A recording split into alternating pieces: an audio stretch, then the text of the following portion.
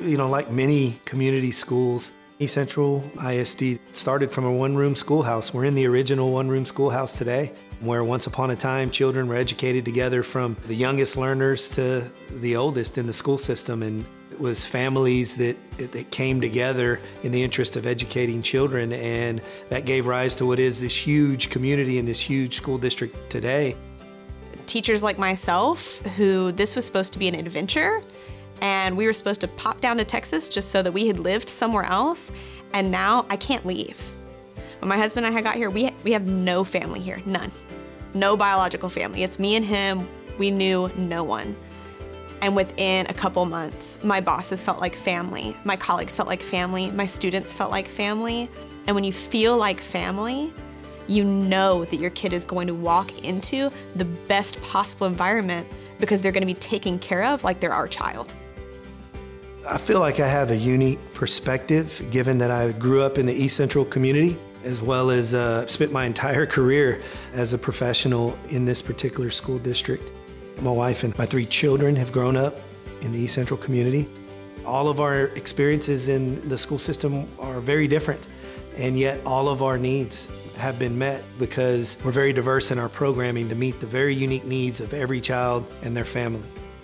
We've had a multi-year partnership and a continuing partnership with Pre-KSA to ensure the highest quality training, the highest quality staffing, and the highest quality experiences for our earliest learners. If multiple languages is something that intrigues them, we have those programs in their first grade. If they're interested in the arts, we have those programs and they're very diverse and they're of the highest quality. You know, we have a first-rate ROTC program We've had a long-standing agri-science program that is perennially competitive and successful at the state and national level.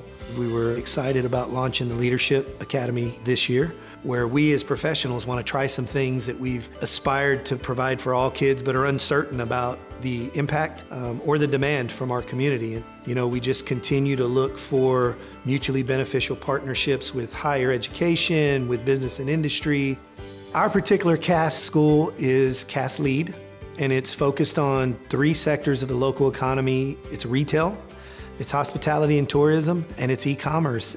They're huge drivers in the San Antonio economy.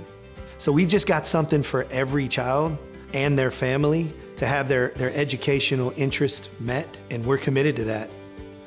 With the community-based accountability system, we came up with pillars and we're able to actually find ways to measure and hold the district accountable for the things we say we want our kids to leave school with. For me, looking from the outside in, that would be huge as a parent, would be huge as the guardian of a child because I want to make sure at the end of the day, no matter what any other data says, my kid is leaving that district with what they need to be successful. It's really phenomenal to see people who care about kids it's not about what's easiest. It's not about what I have to do when I get home.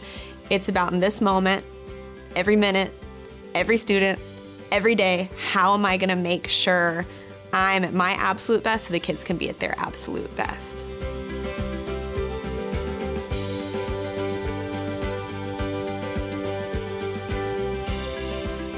Whether you're a new student to the community, uh, a new employee in East Central District, a new board member, uh, sitting on the dais. Welcome to the family.